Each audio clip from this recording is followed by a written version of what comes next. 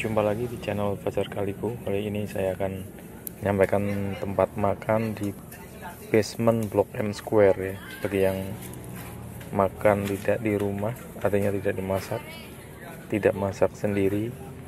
Mungkin informasi mengenai makanan-makanan yang ada di luar menjadi menarik ya. Ini kebetulan ada di basement Blok M Square. Nah, yang ini ini adalah yang paling ramai pertama kali ketika mulai buka. Yang lain masih pada persiapan buka, tapi yang ini sudah ramai dan mau beli masih nyari selanya belum bisa. Malah syuting-syuting dulu buat pemirsa semua ya. Nunggu-nunggu ternyata nggak nggak dilayan-layani ya mendingan ambil videonya dulu sambil melihat-lihat ini ternyata sebagian besar masakannya adalah sayur-sayur. Tuh kan semuanya sayur-sayur dagingnya sedikit. Memang ini spesialisasinya sayur.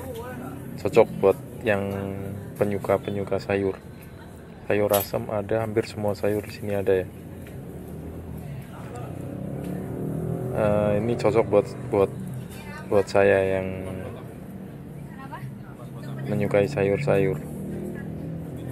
Nunggu-nunggu lama sekali nggak dilayani ternyata ambil sendiri ya ambil sendiri. Tapi ini juga belum bisa ambil sendiri.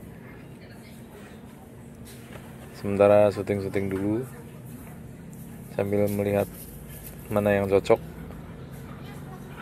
masakan yang cocok. Di dalam di basement Blok M Square itu jumlah kiosnya yang menyediakan makanan banyak sekali.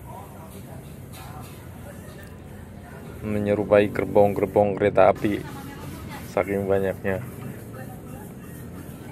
Ini yang saya pilih adalah yang pertama kali rame. Ketika yang lain belum buka tapi tempat ini sudah rame ini. Uh, outlet ini. Ciglis outletnya namanya. Ada di basement Blok M Square. Kalau masuk dari pintu sebelah timur langsung ke bawah turun sekali. Ambil yang bawah dan turun lagi sekali. Terus berbalik arah ke timur lagi. Nah ini tempatnya dari di sisi sebelah timur. Makanannya barisan makanannya ada banyak sekali dan kemudian saya akhirnya sempat mengambil nah ini yang saya pilih. Jamur sayur sayur asem tempe uh, sayur pare kalau nggak salah itu. Uh, itu semuanya hanya 15.000 semuanya hanya 15.000 tambah jus apokat 12.000 tempat ini ramai sekali ya ini uh, recommended menurut saya sih.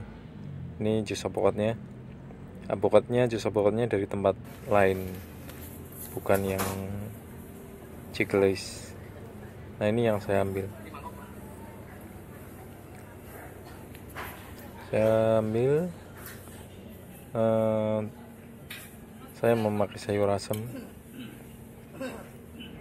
tempe dan sayurnya dua macam sayur asem tempe dan sayur dua macam. Jadi total sayurnya tiga macam. Hanya 15.000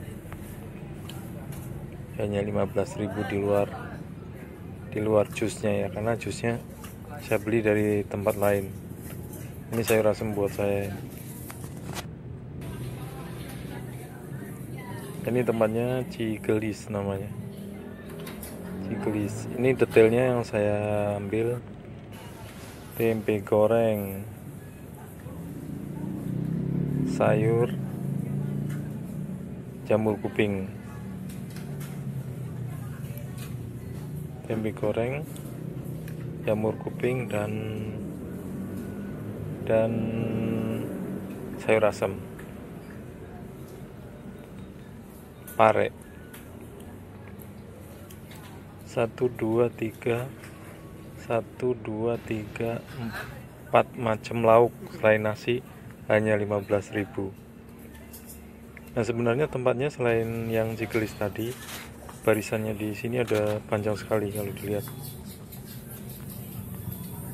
Kalau dilihat semua. Ada barisan panjang sekali